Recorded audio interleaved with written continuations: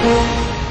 Bapod police દ્વારા વિદેશી દારૂના જથ્થાને ઝડપી પાડી બે આરોપીઓની સામે કાયદેસરની કાર્યવાહી હાથ ધરી હતી. બાપોદ પોલીસ મથકનો સ્ટાફ પેટ્રોલિંગમાં હતો. દરમિયાન બાતમી મળી હતી કે એક ઇસમ તેની ગ્રે કલરની મોપેડ પર વિદેશી દારૂ લઈને રંગવાટિકા મંદિર બાપોદ જકાતનાસા પાસેથી પસાર થનાર છે.